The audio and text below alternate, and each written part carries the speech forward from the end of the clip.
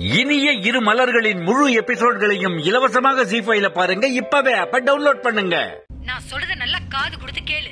இந்த வீட்ல நிறைய வேலை இருந்தா நீங்க ரொம்ப நேரம் இருந்தாகணும். புரியுதா? எனக்கு தெரியுங்க. தேவையில்லாம பேசிட்டு இருக்காத ஒழுங்கா திரும்பி வா. திரும்பி வரேன் ஆனா பறந்து வர முடியாதுங்க. கொஞ்சம் டைம் ஆகுங்க. கொஞ்சம் டைம் ஆகுமா? சீக்கிரம் வா. அண்ணா வந்த இடத்துக்கு திரும்ப போங்க. வீட்ல அப்படி என்ன இன்னைக்கு ஸ்பெஷலான வேலை? ஆலியா இந்த கல்யாணத்தை உடனே நிறுத்து. இந்த கல்யாணத்தை நிறுத்த முடியாது. உங்களுக்கு தெரியும்ல நான் அண்ணன் மாதிரின்னு? அண்ணன் எப்படி அவரோட டெசிஷன் அவரே எடுப்பாரோ அதே மாதிரி தான் இந்த டெசிஷனை நான் எடுத்திருக்கேன். என்னோட டெசிஷனை மதிச்சாதான் உங்களுக்கு நல்லது. அபிக்கும் பிரக்யாவுக்கும் கல்யாணம் முடிஞ்சிருச்சு.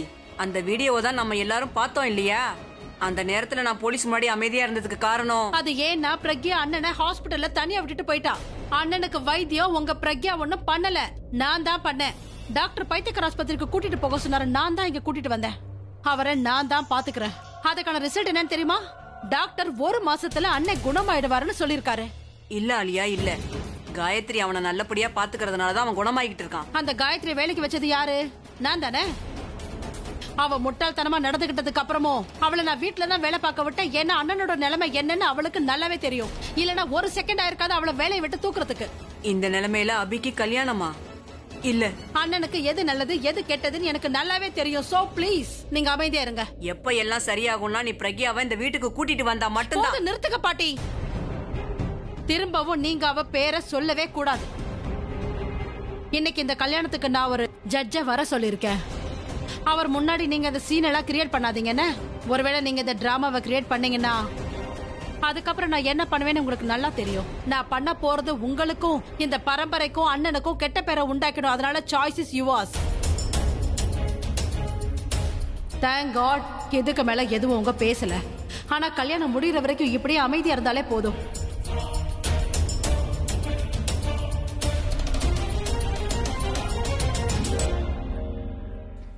ஆலியா? பல்லவி நீ வரதுக்கு ரொம்ப லேட் பண்ணிட்ட? என்ன பண்றது? இந்த விக்ரம் இருக்காரே வர்றதுக்கு ரொம்ப லேட் பண்ணிட்டாரு. இது ரொம்ப அழகா இருக்கு. இந்த கல்யாணத்துல ஃபேமிலி மட்டும் தான் இருப்பாங்க. நான் நீங்களும் எங்க ஃபேமிலி ஆயிட்டீங்க. Please take your seat thank you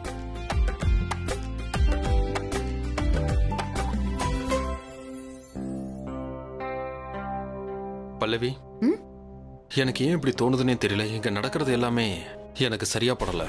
ஐயோ விக்ரம். கடந்த ரெண்டு மணி நேரமா இதை தான் நீங்க பேசிக்கிட்டே இருக்கீங்க.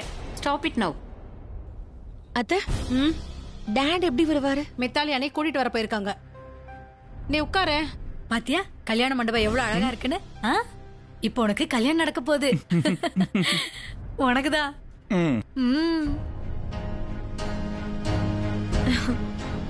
ம், ம், வெள்ளை தலைமுடி ஒன்னு எனக்கு ரொம்ப பிடிக்கும். எங்க உட்காரணும்? ஆ, அங்கதான் அங்க உட்காரு. போ. பூஜை நடக்கும்போது செப்பல் இங்க கழட்டி விட்டுறணும். புரியுதா? ஓ ஓ பண்ணி. பூஜை பண்ணணும். மாப்பிள்ளைய உட்கார வைங்கோ. உட்காரு. நிறைய சாக்லேட் கிடைக்கும் ஓகே தனுவை போய் கூட்டிட்டு வாங்க.